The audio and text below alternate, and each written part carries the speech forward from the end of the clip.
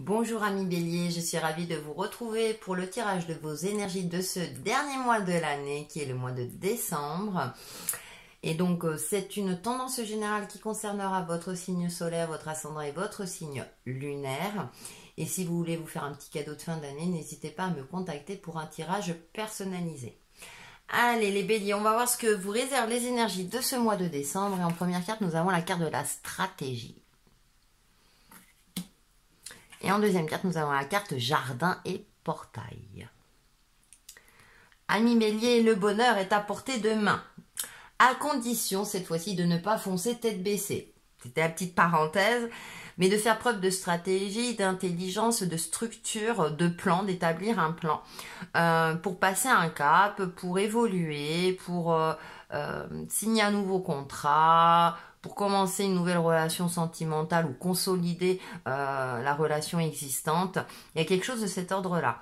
Donc euh, là, il va falloir être mesuré dans vos propos, dans vos actions, hein, et de faire preuve aussi de patience. Vous qui êtes plutôt impatient, hein, vous avez tendance à agir et réfléchir après. Là, on va vous demander de réfléchir avant d'agir. Hein. Ça peut être aussi au niveau des finances, comme vous êtes aussi un signe généreux. Hein. Attention à votre budget financier, hein, parce que bah, vous aimez faire plein de cadeaux, et puis du coup, à la fin du mois, c'est ah mince, euh, bon, voilà, ça peut être voilà des, des choses de cet ordre-là, comme des choses, euh, on va dire, plus importantes en fonction de ce qui vous parle. Donc c'est assez amusant. Vous avez la solution, vous avez les capacités, puisque là je vois la clé, hein, je vois la plume, vous avez les capacités de vous réaliser. Vous allez finir par y arriver. Cependant là, on vous demande de, hum, durant ce mois de, décembre de canaliser votre fougue, euh, ce tempérament de feu hein, qui est en vous, hein, et justement d'être euh, analytique dans ce que vous allez effectuer, tout en suivant votre cœur, certes, parce qu'il y a des opportunités qui sont là.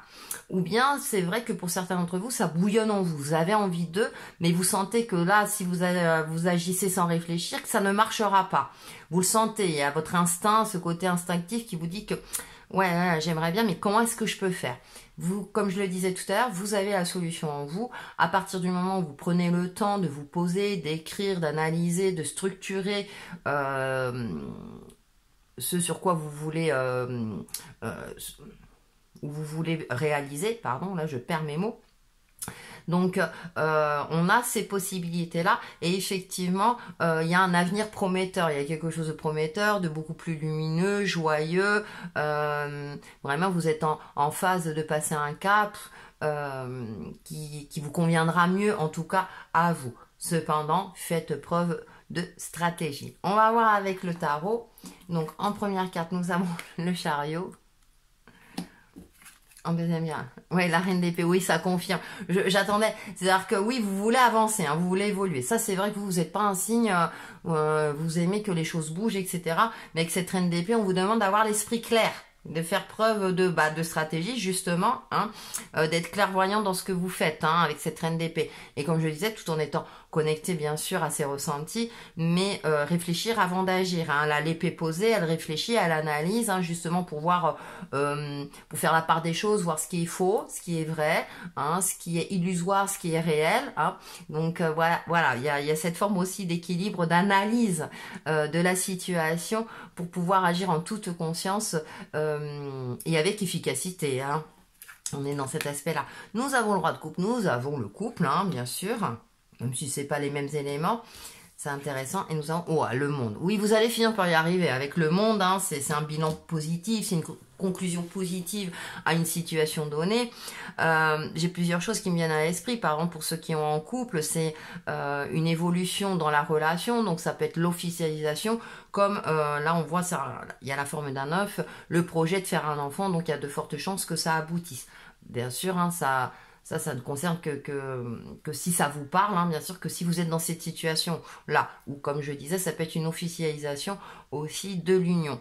Pour les célibataires, euh, j'ai cette euh, notion-là, alors ça me fait sourire, de baisser un peu votre garde de votre garde parce que vous êtes peut-être trop ancré par rapport à vos échecs du passé parce que ça n'a pas fonctionné, du coup vous avez été blessé, et euh, euh, du coup, bah vous euh, vous êtes trop méfiant ou méfiante. Hein. Ça peut être homme ou femme, hein, même si là on a l'homme et la femme, mais on peut on peut inverser. Donc baissez un petit peu votre regard tout en étant vigilant. Ça ne veut pas dire que, mais voilà, parce que a priori le prochain qui viendra dans votre vie, ça sera euh, quelqu'un, une personne bien pour vous, qui sera, qui, qui vous correspondra, d'accord? Et avec le monde, effectivement, il y a de fortes chances que ce soit quelque chose de, de profond, de durable, qui, voilà, je parlais de conclusion favorable. Donc, voilà pour ceux que ça concerne, pour ceux, oui, que ça concerne. Donc on a de belles énergies à mi-bélier. Il y a juste ce petit effort, voilà, de, de, structurer, de mesurer, hein, euh, en fonction de votre situation. Hein. Ça peut être aussi un achat immobilier, euh, un engagement professionnel ou une évolution professionnelle. Donc à vous de voir, prenez ce qui vous parle en fonction de votre situation propre et de votre phase de vie. Mais en tout cas, euh, la réussite, elle est, là. Hein, je veux dire, la, conclusion est favorable. Donc, ce que vous allez entreprendre, si vous faites preuve d'organisation aussi, euh, ça aboutira. Voilà, donc vous êtes êtes prévenus, mi béni pour ce mois de décembre. En tout cas, soyez rassurés, gardez cet optimisme en vous, hein, parce que vous y arriverez. Et on termine par euh, une carte Namasté. Donc on a le dieu Ganesh, j'aime bien, c'est euh, des protection. On va lire le message. Bénédiction cristalline. Bientôt tu ressentiras une bénédiction d'une grande clarté, ton destin t'appelle et ton âme rayonne d'une sagesse infinie. Tu es béni, protégé, guidé dans tout ce que tu fais en ce moment. Bon, voilà, vous voyez, hein, je vous dis, la conclusion est favorable.